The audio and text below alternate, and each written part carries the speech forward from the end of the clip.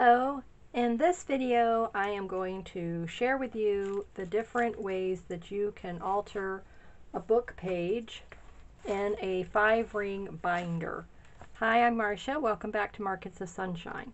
So in my altered book series I am taking you through step by step how to alter and embellish the pages, how to reinforce the pages, um, what to do if the pages are too fragile to be used, then obviously uh, you would just discard those.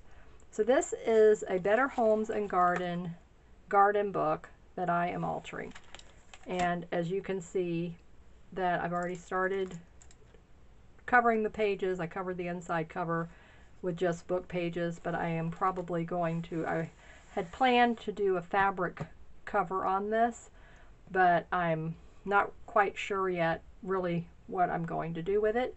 But I'm thinking I, I'm still thinking I'll do a fabric cover, but instead of having it where it would slide on, I'm just going to glue it to the outside cover. So now let me walk you through the different techniques and the different ways that you can embellish a book page when you're altering a book. But specifically for a binder type book where you can actually remove the pages.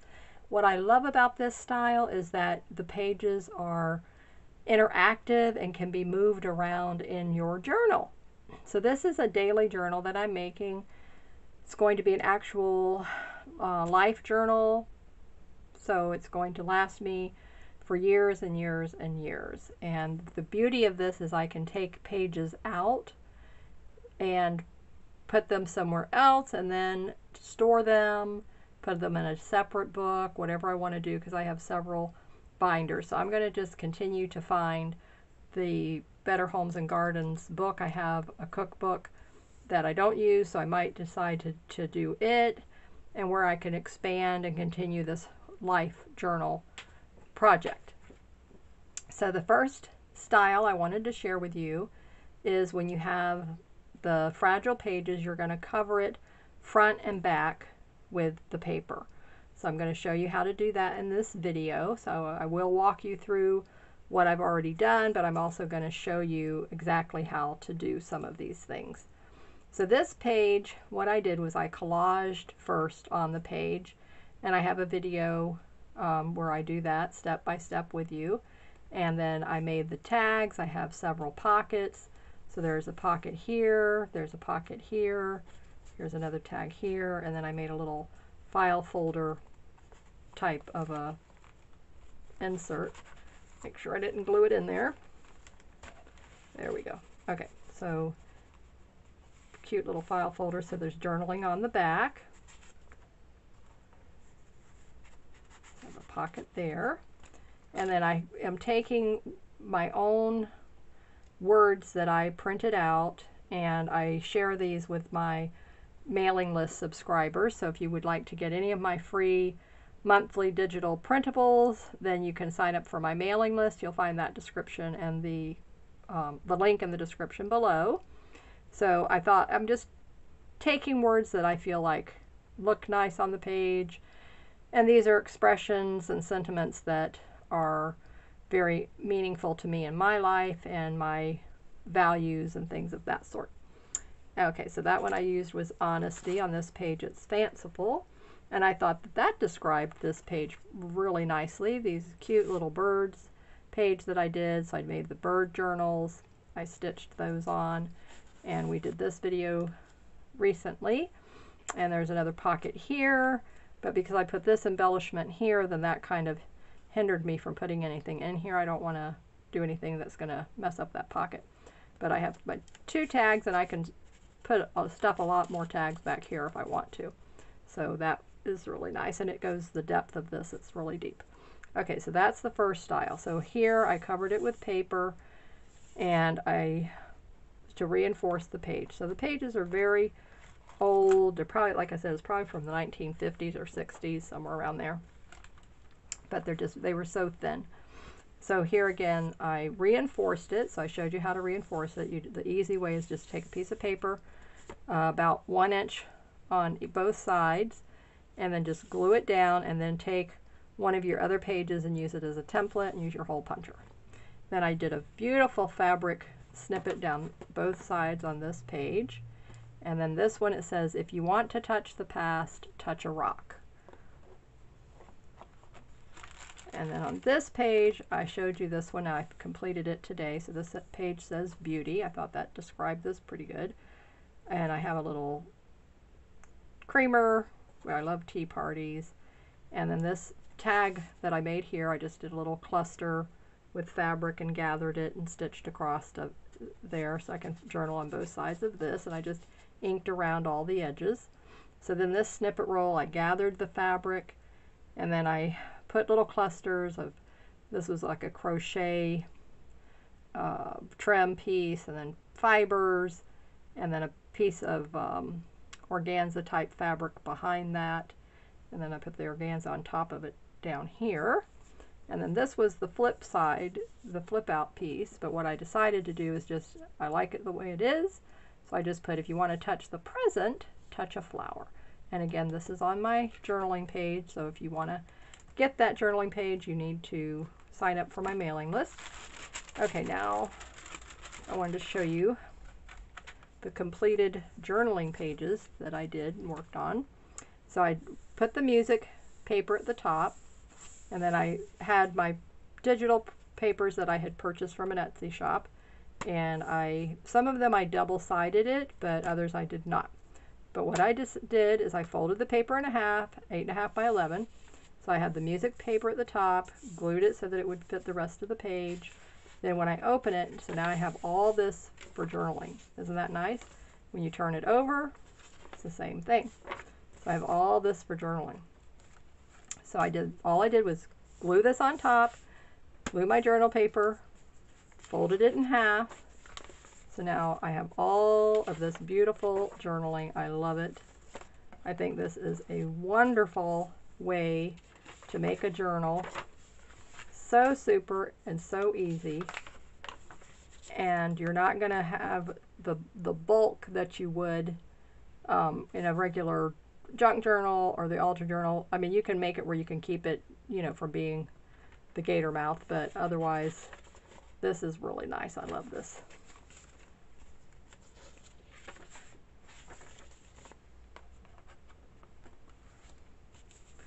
Aren't these pretty? This is such a nice paper. I love this paper. So cheerful, uplifting. It just I will be so happy when I'm journaling in this.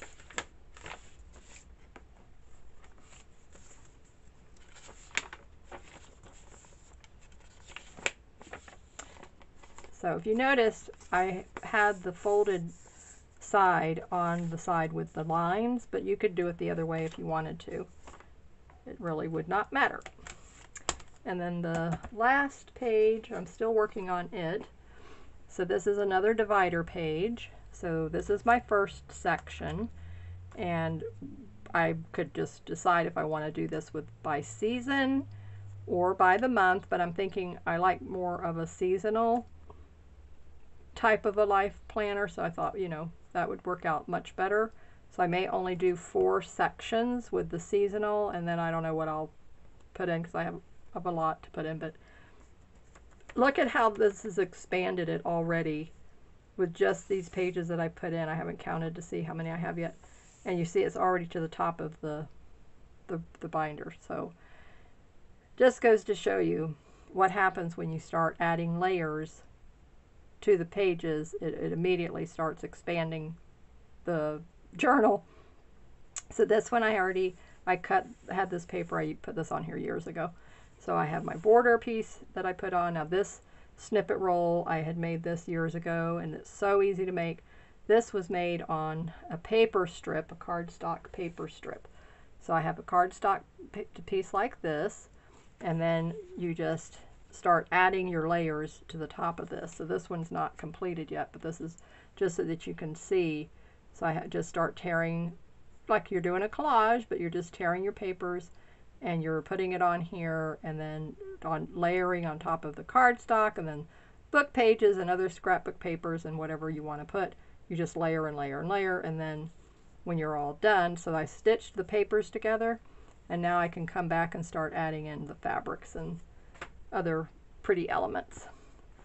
So I'm going to do the same thing on the back here is I'm going to make another one of these beautiful collage fabric and paper pieces and I will put that on the back of this book page so that will complete that divider page and I don't want to close this right now because it's hard for me to open it but I just wanted to take you through the different styles and the different techniques and now let me show you how easy it is to cover those okay so here are a few more of the book pages you can see how patinaed in color they are.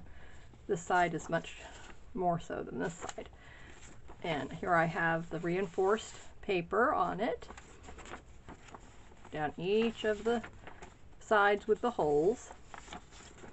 Very, very easy to do.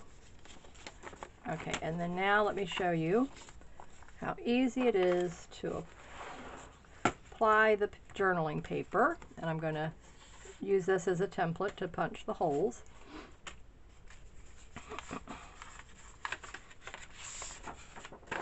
Okay, so I want one with the lines.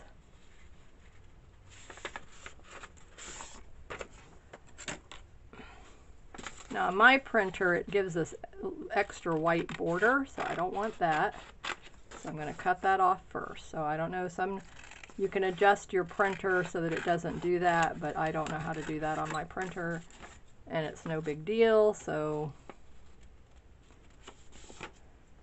I don't mind trimming it off. and if you need to turn it over cut it, you can do that as well. But I just like to fold it, it kind of like saves me a little bit. But you could either leave it all open one piece and cut it either way, whatever you want to do. Okay, so get the scraps out of the way. And now you know I love to use Aleene's Tacky Glue. so if you're new to my channel, you don't know that. but once you've watched me, my a few of my videos, you know I love Aleene's Tacky Glue. My husband was so kind to help me refill all of the bottles today, and it was a mess, let me tell you but we had fun. So now every size, this is the one with the narrow tip. So I have it filled and I have my giant 16 ounce one filled and then my little one, eight, five ounce one filled. So I love it. Okay, so before we, before we do that one, we're going to do one more step. Okay, so I, I'm going to put the border piece on here first. So what I did is I take my journal page, lay it down, see where, go, take it all the way to the end of the page, and then I'm going to bring it over so that it's lined up with the edges. And if it if it, it's okay that it's going over here on the to the side of the paper, it's not a problem. Okay, so now I have that there, and I'm going to get a clothespin and hold on to it with the clothespin. That's another one of my things that I love to use are the clothespins, but you could use the little clamps or a paper clip, whatever you have handy.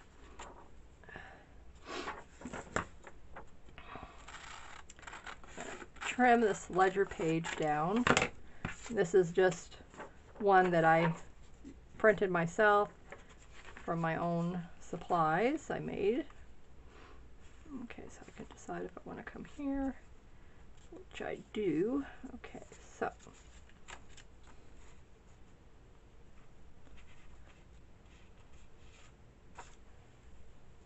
And then I just get a pencil, make a little line, make a little line.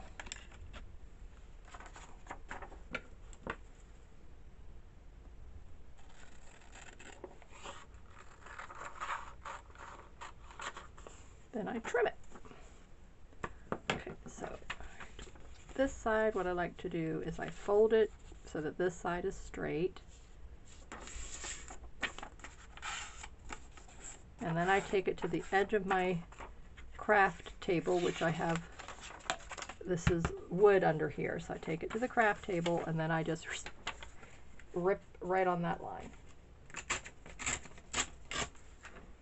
Ta-da! Okay, remove the clothespin. Move that to the side. Now, if you want to ink them, I'm going to ink these all later on, but I, I didn't, I'm not doing that right now. I'm just, my goal first is just to let's get the foundation of each journal page made. So this, the, what I'm showing you is the very beginning steps that you want to do at this stage of the game. You want to get all of your pages, and then when I take it to the, take it to the far right edge of your page, line it up. what I like about the tacky glue, it gives you some wiggle room where you can move it, get it lined up. And then I can bring it up there. And then I get my paper towel. And you want to hold on to it because it is still moving. You don't want it to be moving all over the place on you. Okay, so that was step step two. Step one is reinforce the side with the hole. Step two, get your border. I mean, you might have a piece of paper that fits the whole thing, but I cannot print 12 by 12 paper on my printer, so the 8.5 by 11, you have to improvise, and the improvisation is that you have to put a border on the top. Okay, so that part is done. All day long I've been getting glue all over me. I mean, it's like ever since we filled up the thing, it's like it's been just inevitable. I mean, glue, glue, glue. I had glue over here. I have I've had glue everywhere today, so it's just I've been taking a glue bath. Okay, now then just take your paper towel and just want to Go around the edges where we put the glue. Open it up. And do the same thing. Okay, so that page, that side is done. Isn't that pretty? Love it. Okay, now turn it over. And we're going to do the same thing on this side.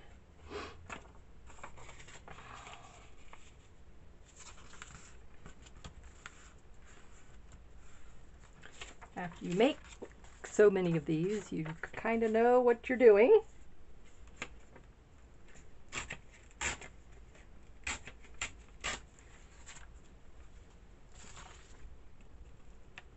So what I like to do is I have a stack of the pages um, on my by, on my couch, and so when I'm watching TV, I'm sitting there gluing all of the little reinforcement paper onto the page. So I did that the other evening.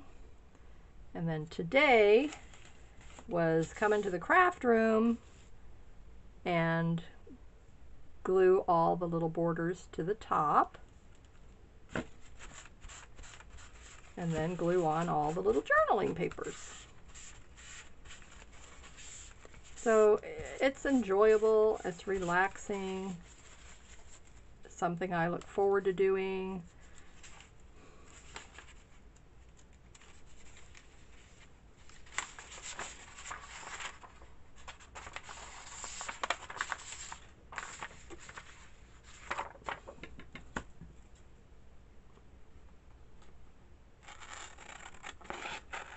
and you take your time with it. You know, there's no rush, there's no deadline so I don't put any pressure on myself. I just take my time. And usually I have music playing.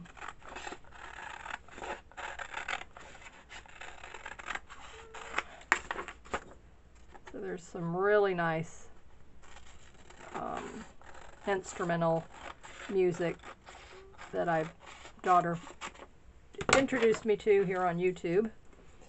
And uh, so while I'm doing these, I can put that on to play.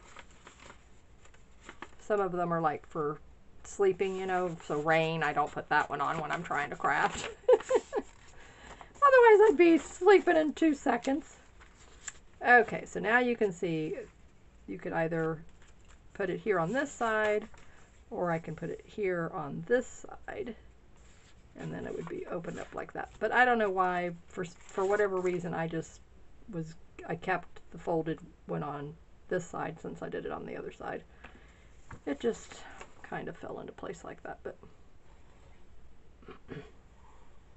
it doesn't matter. It's going to work either way.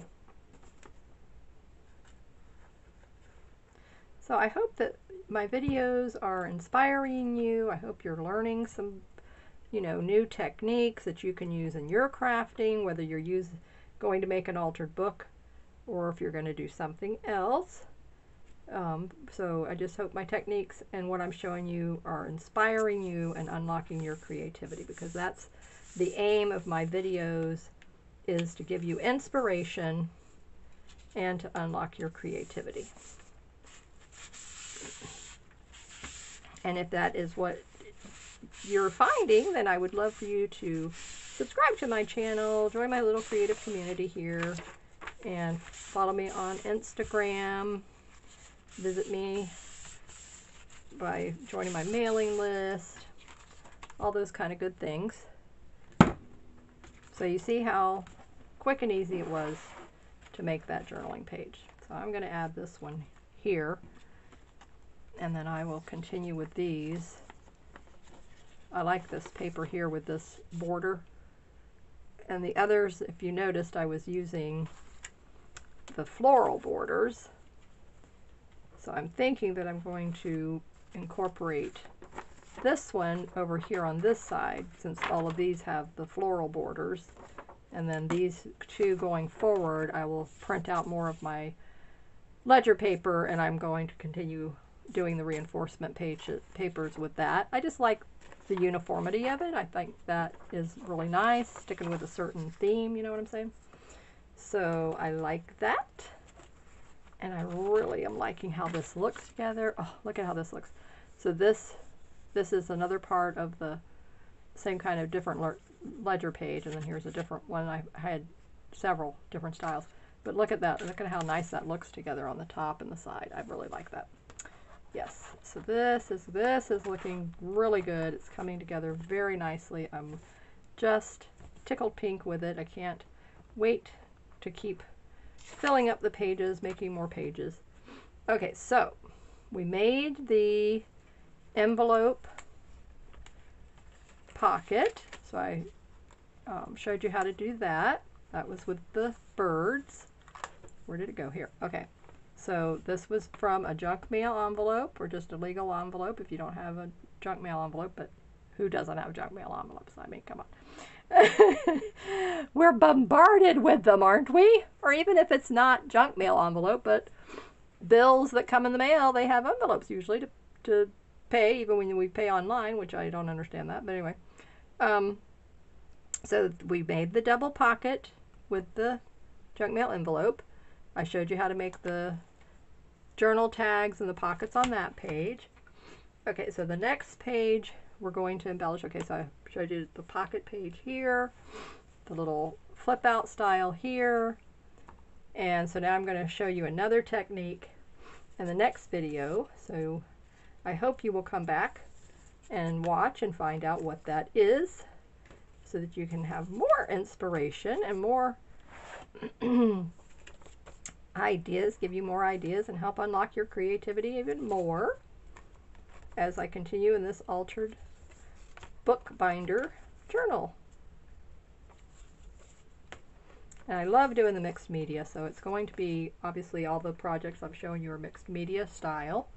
So it's going to be something along the lines with mixed media, and you'll have to come back and see what it is. It's going to be fun, it's going to be easy, and it's going to be so pretty. So I hope that um, you will come back and watch. So please, if you are enjoying my videos, please hit the like button. That really helps me to get found in search. And YouTube will show it to more people. And then leave me a comment just so that I know that you were here. Because liking it doesn't tell me who was here. And um, sharing it, that would, that would be really, really nice. I would really love that as well. So thank you for being here with me today. Stay safe, keep creating in the sunshine, and I will be with you in the next video as we continue to embellish our journal pages and I'm going to show you another mixed media technique that we're going to use that will make the page so pretty. Thank you for watching. Bye-bye.